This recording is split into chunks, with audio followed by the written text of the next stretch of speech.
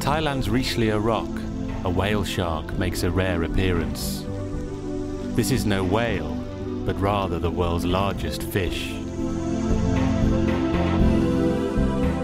Whale sharks can grow up to 12 meters long, although unconfirmed reports circulate of giants up to 18 meters long.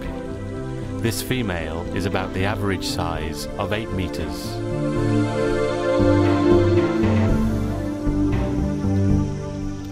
There is little to match the awe inspired by an encounter with a whale shark, and for many divers, this is the pinnacle of their underwater experience.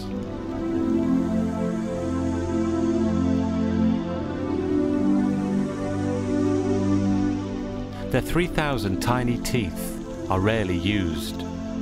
When feeding, they hold their mouths open and feed on plankton, fish eggs, and small marine creatures. Ridges down the whale shark's back are reminiscent of those on leopard sharks' backs, and like the leopard shark, the whale shark is harmless to humans.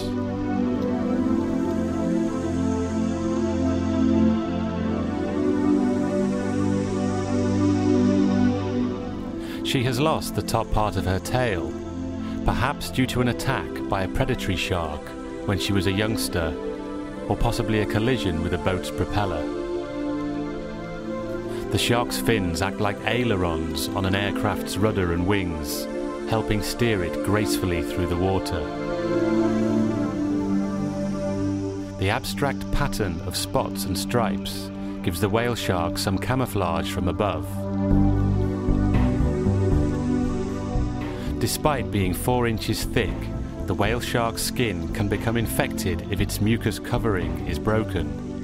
So although it might be tempting to touch or even try and hitch a ride on a whale shark, this practice is highly discouraged. For a long time, whale sharks were thought to be oviparous, in other words, hatching from eggs laid by the mother. However, since 1995, females have been discovered containing hundreds of hatched pups, proving that the young complete their development inside the mother's body before birth.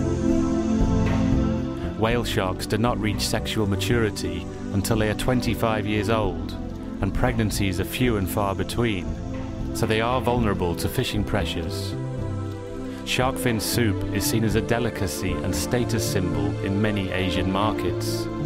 A single whale shark fin can fetch tens of thousands of dollars in some Chinese restaurants. Until this culture changes or legislation intervenes, whale shark numbers are likely to continue falling.